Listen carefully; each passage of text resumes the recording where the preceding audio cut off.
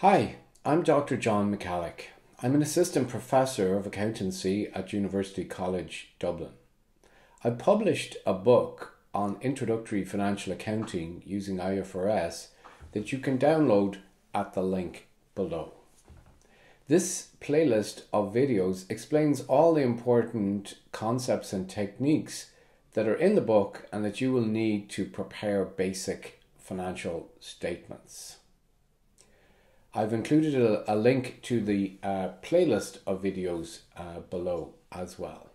Please remember to like the video and subscribe to the channel if you found this content helpful. In previous videos, we saw how transactions are recorded that affect items on the balance sheet. So we saw things like the uh, company acquire a new asset like a motor vehicle in this video, we will see how transactions that affect revenues and expenses are recorded using the double entry system.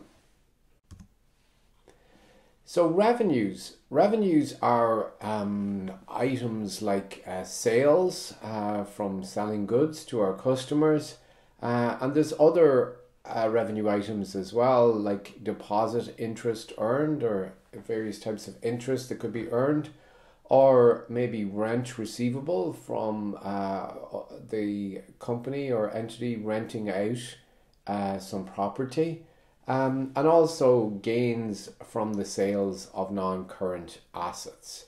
These are all um, gains. Uh, uh, some of them are called revenues, and some of them are called gains. Um, and uh, we record them in slightly different ways. Uh, we're going to focus here really on the recording of sales to customers, which is the most basic case. Um, according to um, uh, the conceptual framework, income is increases in economic benefits during the accounting period in the form of inflows or enhancement of assets or decreases of liability that result in increases in equity. So if you think back to the accounting equation that we discussed in previous videos, you saw that assets minus liabilities equals equity. And uh, sometimes we have transactions that increase an asset and don't decrease uh, or don't increase a liability or decrease another asset. In fact, what they do is increase equity. And the sales transaction is an example of this kind of transaction where we sell uh, uh, goods to somebody um, and they uh, pay us uh, for the goods. Um, and that increases our assets, our bank account, but it doesn't um, decrease another asset or a, another or increase another liability. So the effect of that transaction is on equity, and I'll be trying to explain um, uh, later on in this video at that point a little bit uh, better. Expenses. Well, expenses are the opposite. Expenses are decreases in economic benefits during the accounting period in the form of outflow, outflows or depletions of assets or incurrence of liability. So when uh, um, you know the ESB bill comes in or the electricity bill comes in and falls on the accountant's desk, um, it's clear that the company has another liability that will have to be paid off in the future. However, there isn't, you know, there isn't anything happening in assets that's counteracting that. And in fact, that is a decrease in equity. So the other side of the equation is a decrease in equity. Uh, examples of the kind of things that we see in expenses purchases of inventory for resale. So we purchase things and then we resell them to our customers, salaries and wages, light and heat, taxation, or a loss on the sale of other non current assets. So there's lots of different examples of expenses. Uh, that the company incurs. Um, depreciation would be a, another expense as well. So let's get on then and try and record these uh, transactions using the double entry uh, system. And as we saw, or as I said a minute ago, revenue um, the accounting equation is critical here to understanding what's going on. So assets minus liabilities equals equity is the basic accounting equation. We can change that around a little bit and break down equity into its components. So assets minus liabilities is opening equity plus profit for the year. And what we do is we take this profit idea, we put all the increases in equity due to revenues and the decreases due to expenses, we add them up and, and we put them into this profit figure. So every time we make a sale or incur an expense, we don't adjust the equity account directly um, or immediately. What we do is we put those items to special accounts that we then accumulate in a statement called the income statement. And uh, at the end of the accounting period, we see what the net amount is in the income statement. That is called profit, and that goes into equity all in one go. Okay, it goes into equity all in one go. We don't, you know, just drip little bits of sales and expenses and things like that into and out of equity as the year is going on. We accumulate everything in the income statement and um, then um, uh, put in the profit for the year at the at the end of the year. And that means that profit in general is equal to income minus expenses. And the income statement, I suppose it should really be called the income and expenses statement. The income statement uh, shows us how this profit figure is calculated. So let's look at profit and equity then and try and work all this out. Um, this is for Murphy's Muffins Limited and it is the statement of financial position um, uh, at the end of the month of January and then at the end of the month of February for year one.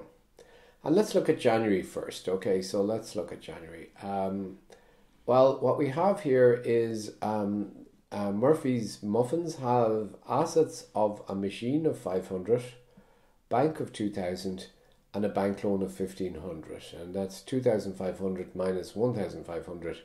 That gives us total assets minus liabilities of a thousand. And that is balanced on the other side by equity. Now, supposing during the month of February, some things happen in the business, okay? Um, and at the end of February, we see that the bank has changed to 2,500, the liabilities are the same, and the issued share capital is the same. That is the amount that the shareholders originally put in. So, how are we going to balance the books?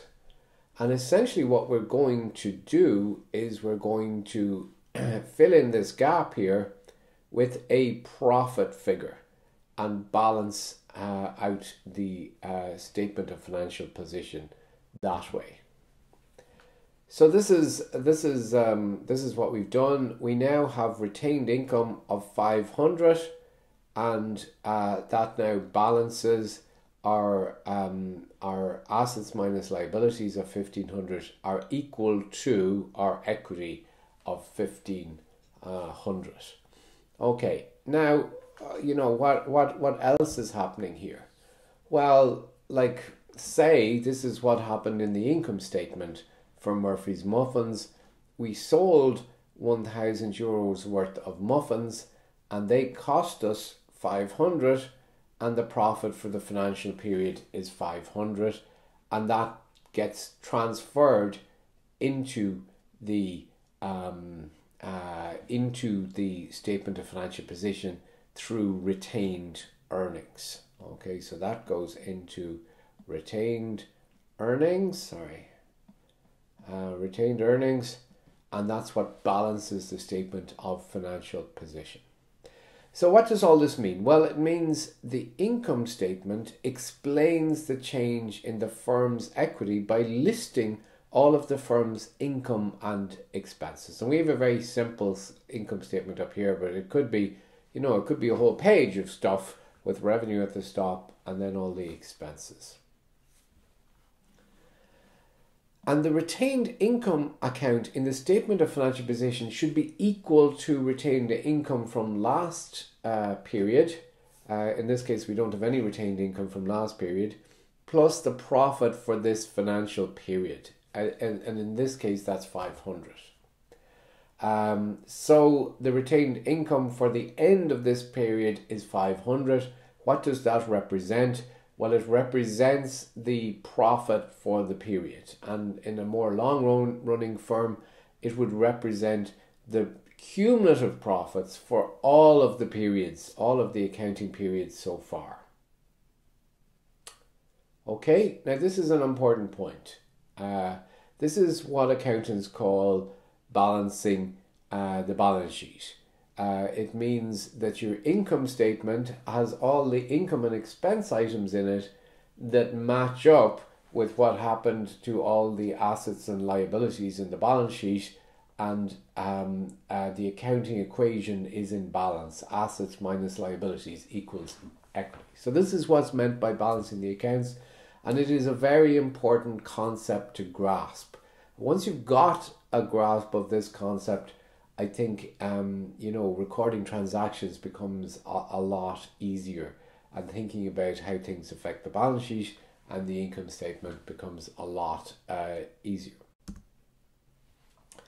So you remember that we had a table in in earlier videos in relation to um, what items we were going to debit and credit depending on what was happening with the transaction. And we now have to change this table a bit and add in things that happen because of income, uh, because of expenses or losses, or revenues or gains.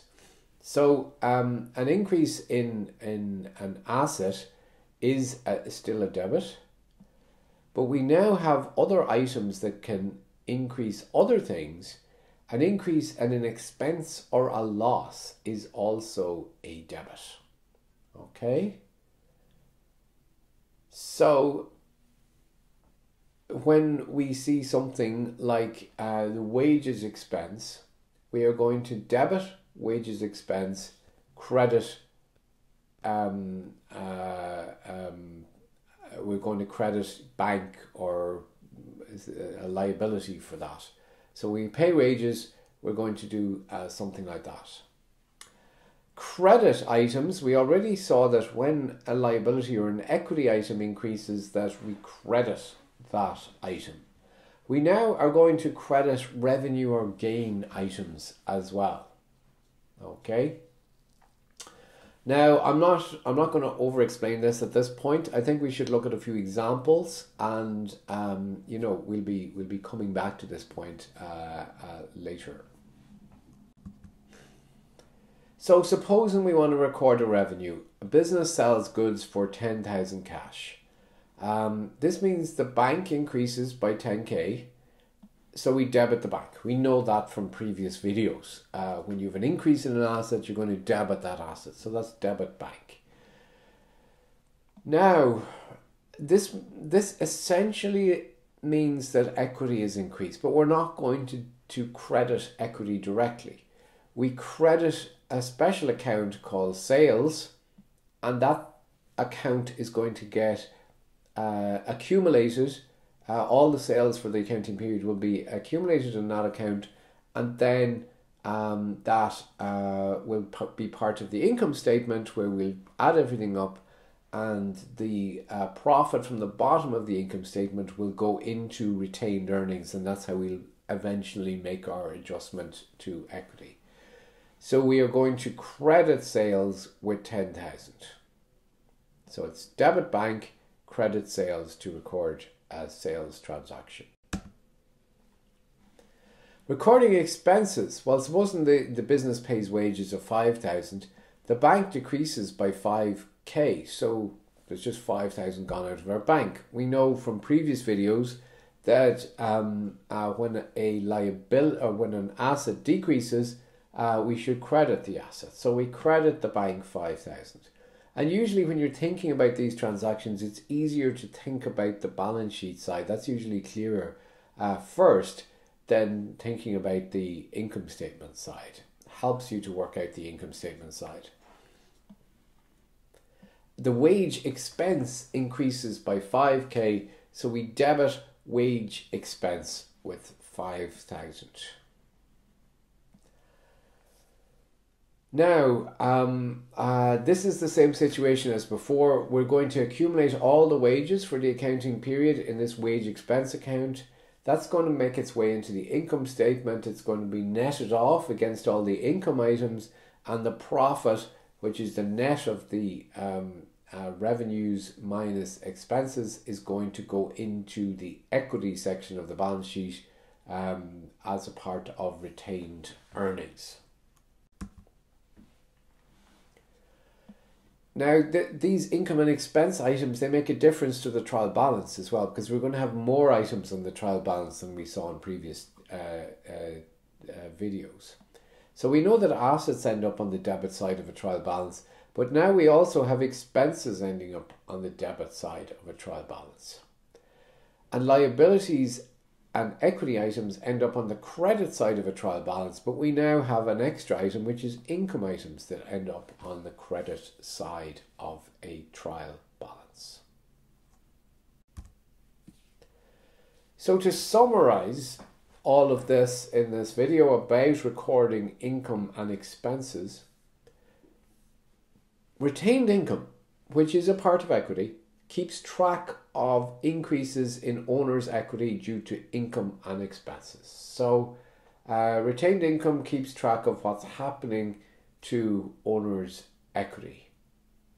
Profit is income minus expenses, and that is um, uh, profit is calculated in the income statement, which analyzes the change in equity due to income and expenses.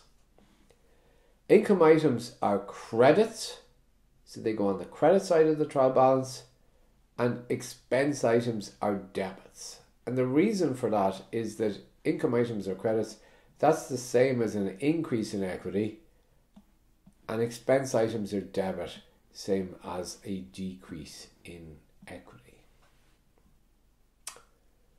Okay, thank you very much uh, for listening to this video, watching this video.